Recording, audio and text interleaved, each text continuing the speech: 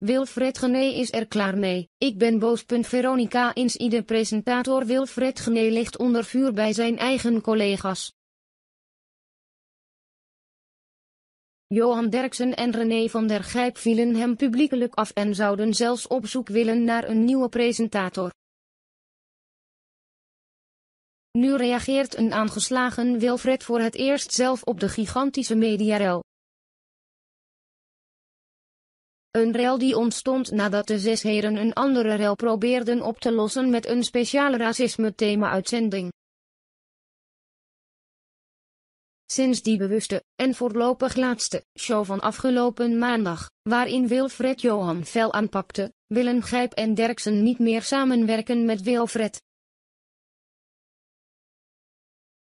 Ik weet niet waar het mis is gegaan, zei de presentator gisteren in een lange uitleg in de radiovariant van Veronica Inside.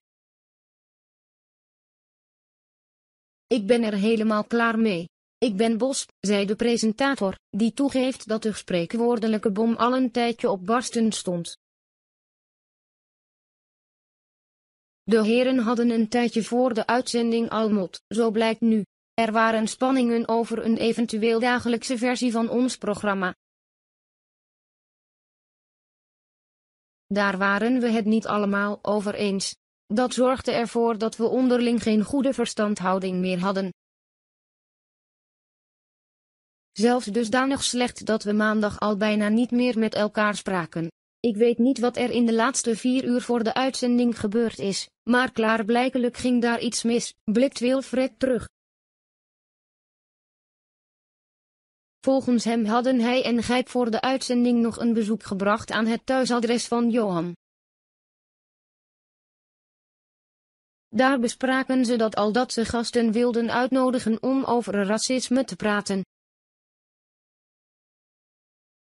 De heren waren het toen eens, maar voor de show dreigde Johan opeens dat hij niet meer aan tafel wilde zitten. Hij was het blijkbaar toch niet eens over de gasten. Het escaleerde stevig, al dus Wilfred, die ook aangaf dat hij zenuwachtig de uitzending inging. Het hele verhaal van Wilfred kun je hieronder terugkijken. Heb je even 20 minuten?